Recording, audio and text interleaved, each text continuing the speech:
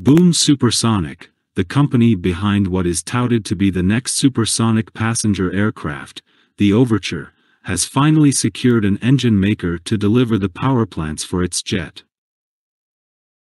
Announced at its Greensboro site, the home of its future manufacturing facilities, Boom revealed plans to work with Florida Turbine Technologies, Standard Aero and GE Additive, a unit of GE Aerospace, to develop the engines it needs for the Overture.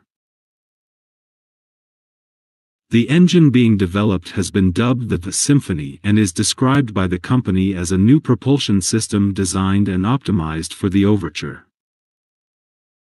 Blake Scholl, founder and CEO of Boom Supersonic, commented on the partnership, saying, Developing a supersonic engine specifically for Overture offers by far the best value proposition for our customers. Through the Symphony program, we can provide our customers with an economically and environmentally sustainable supersonic airplane a combination unattainable with the current constraints of derivative engines and industry. Boom had faced being shut out by many of the world's largest engine makers, with the likes of Pratt & Whitney, Rolls-Royce, GE Aviation, Honeywell and Safran all publicly stating they had no interest in developing engines for the jet. Nevertheless, Boom maintained it would find and announce an engine maker before the end of 2022. These manufacturers are no Rolls-Royce or Pratt & Whitney, but they do have a strong track record in propulsion technologies. Florida Turbine Technologies is based in Jupiter, Florida, and has offices all over the world. It's been around since 1988 as an engineering services firm, but evolved into a turbo machinery designer and manufacturer. Specializing in manufacturing and developing gas turbines for both military and commercial applications. The company was bought out in March 2019 by California-based Kratos Defense and Security Solutions. At the time, Kratos CEO Eric DeMarco noted that the acquisition was part of Kratos' goal to develop advanced, affordable engines for a new class of hypersonic propulsion system. The arm of Kratos that FTT occupies has so far been working on high-performance jet engines for cruise missiles and unmanned aerial systems. So although the Overture project will be a new venture for the company, it's not exactly entering unknown territory.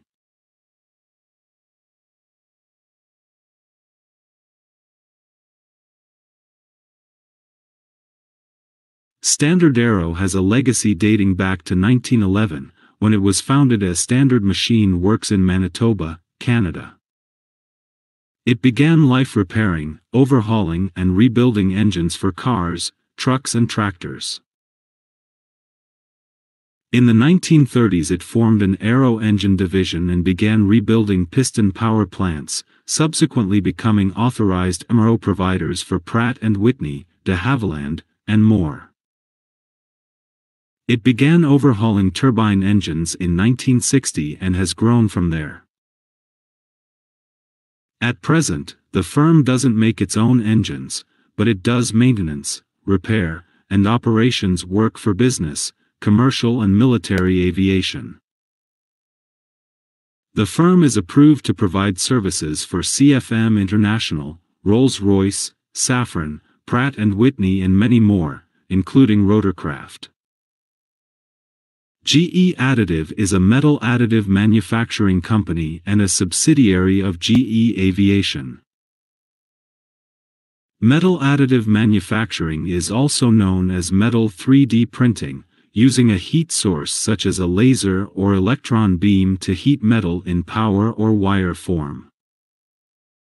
The molten metal is then formed into an object. This sort of process offers exemplary design freedom with improved efficiency and, most importantly for Boom, to increase the speed to market or stronger and lighter parts. Original concept designs of the Overture pegged it as a twin jet, later it became a tri-jet. But the most recent and final iteration of the design has the aircraft as a quad jet. Two pod engines under each wing will be tasked with propelling the aircraft across the world at supersonic speeds. We selected a four-engine configuration after extensive R&D and efforts to understand the supply chain capabilities of our partners. Using four engines lets us shrink the size of each engine, allowing production to fall within current supply chain and manufacturing capabilities, all while reducing the noise levels of the aircraft. The use of four engines instead of three also keeps weight and temperature within existing technology constraints while allowing Overture to work within established supply chain and maintenance. Crucial to this four-engine design is the need to be able to reach supersonic speeds without requiring afterburners, a feature that made Concorde so very loud and inefficient. The engines are pitched to be small, quiet turbofans, hence the need for four, as opposed to two very large and heavy units. They will be designed to run on 100% sustainable aviation fuel from the outset. Boom also says it's designing to make maintenance of the aircraft easier, which is why it moved away from the tri-jet design. Engines under the wings are far easier to work on than one mounted on the tail. For weight and balance, the engines will be located toward the rear of the aircraft. With engine makers in place, the race is on to develop and test the propulsion technology in time for Boom's goal of starting manufacturing in 2024. That's not long to create a complete engine and test it to the extent that it could be installed on a flying overture. Boom wants to roll out the first overture in 2026, with a view to beginning its test flight campaign in 2027. Both the aircraft and the engine will need to be certified before either can enter into service, although the firm could begin flight testing with an uncertified engine as an experimental aircraft. Nevertheless, the road ahead is going to be long and expensive for Boom, despite today's progress on its goals. If you enjoyed this video, then please take a moment to support the channel by hitting the like and subscribe button, and thank you for watching my video.